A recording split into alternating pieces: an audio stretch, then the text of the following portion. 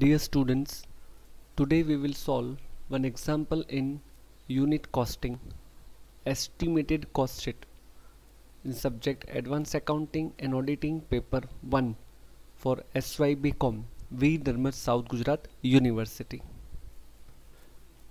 Here is the question. A company manufactured and sold 10,000 TV sets in the year 2015-16. Its summarized trading and profit and loss account for the year ended 2015-16 is given below. Particulars amount, particulars amount. Sales rupees 32 lakhs. Materials rupees 6 lakh 40,000.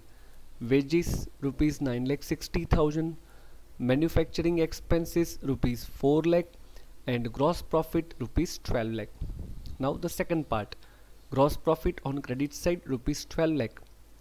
Debit side rent and taxes rupees 80000 selling expenses rupees 2 lakh 40000 general expenses rupees 1 lakh 60000 office salary rupees 4 lakh 80000 and net profit for the year rupees 2 lakh 40000 and total rupees 12 lakh for the year 2016-17, it is estimated that number 1 price of material will reduce by 25%.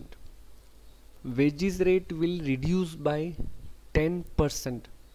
Number 3 manufacturing expenses 20% of prime cost.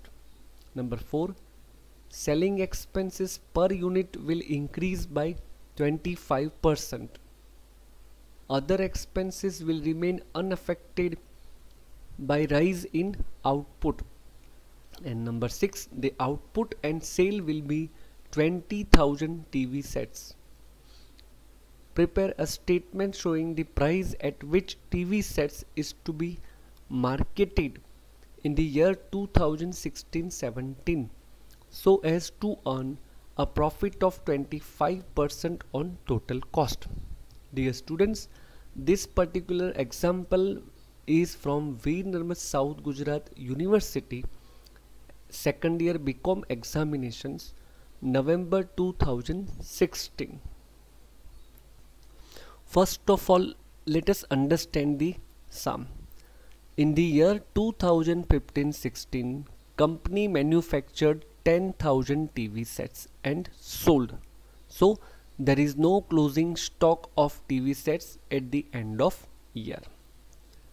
And further there is no opening stock of TV sets in the beginning of the year.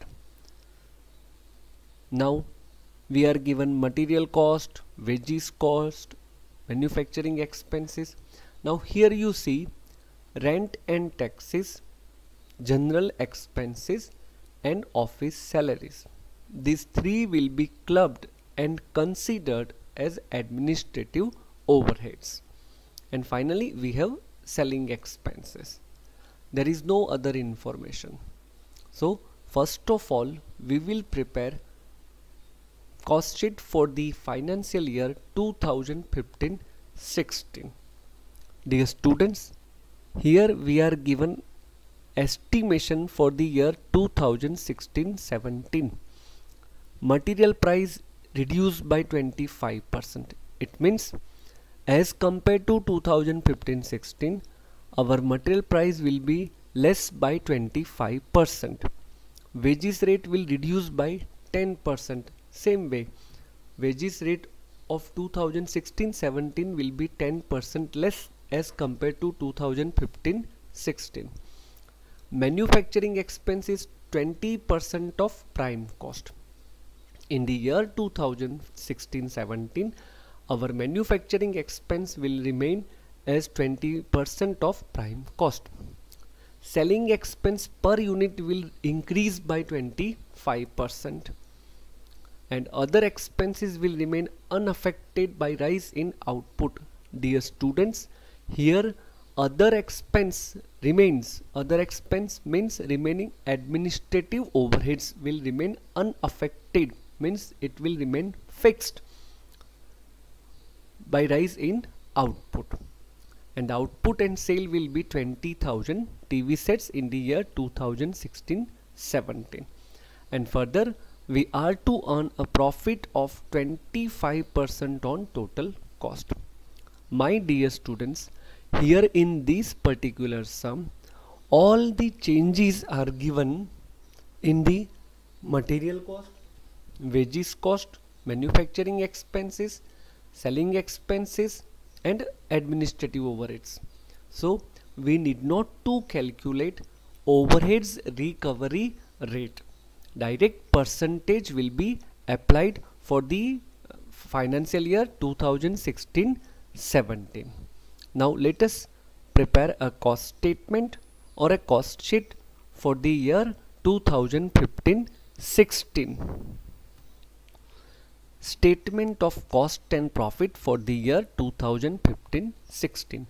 Production and sales 10,000 TV sets particulars amount and cost per unit direct materials 6 lakh 40,000 so per unit it will be 64 rupees. That is 6 lakh 40,000 divided by 10,000 TV sets.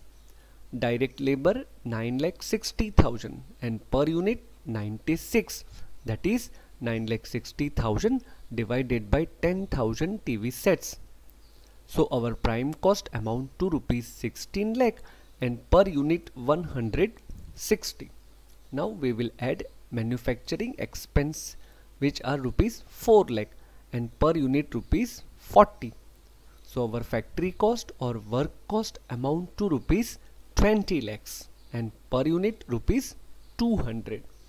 In factory cost we will add administrative overheads and we have rent and taxes rupees 80,000 general expenses rupees 1 lakh 60,000 and office salary rupees 4 lakh 80,000 so total total administrative overheads amount to rupees 7 lakh 20,000 and per unit rupees 72 so our cost of production amounts to rupees 27 lakh 20,000 and per unit rupees 272 now we will add selling overheads or a selling charges rupees 2 lakh 40,000 and per unit rupees 24 so our total cost or a cost of sale amounts to rupees 29 lakh 60,000 and per unit rupees 296 now we will add profit that is net profit as per profit and loss account rupees 2 lakh 40,000 and per unit rupees 24 so our total sales amount to rupees 32 lakh and per unit rupees 320. This 32 lakh is as per our trading and profit and loss account. Now we will prepare estimated cost sheet for the year 2016 and 17. Here is the estimated cost sheet for the year 2016-17 our production and sale is 20,000 TV sets and the format is particulars cost per unit and amount. My dear students while preparing estimated cost sheet consider cost per unit column first and then amount. First of all we will take direct materials. And as per additional information number 1 for the year 2016-17 our direct material will reduce by 25%. So in 2015-16 our direct material cost per unit was 64 minus 25% of 64 that is 16. So our material cost per unit amounts to rupees 48 and 48 multiplied by 20,000 TV sets is equal to rupees 9 lakh 60,000. Now second element direct labor in 2015-16 it was rupees 96 and estimate for 2016-17 is it will reduce by 10% that is 9.6 so our wages cost per unit amount to 86.4 and total amount 17 lakh 28,000 so our prime cost amount to 134.4 and 26 lakh 88,000.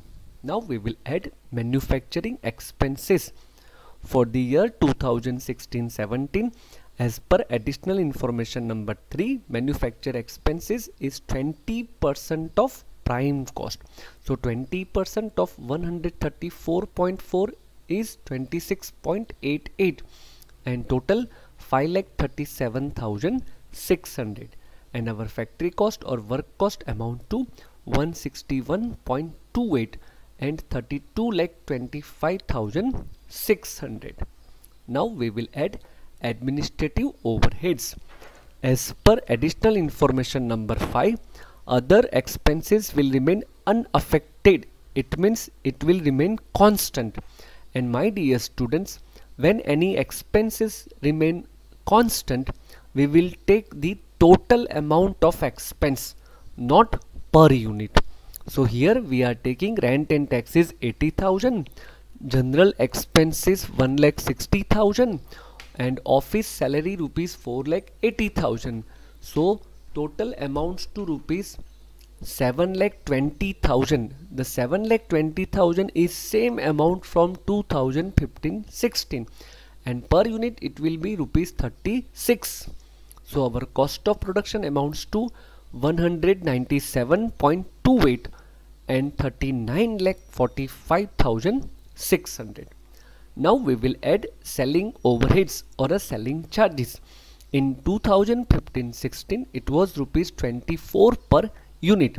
Now adjustment number 4 selling expense per unit will increase by 25% to 25% of 24 amounts to rupees 6 so per unit our selling charges are 30 30 multiplied by 20000 TV sets. So total amounts to rupees 6 lakh.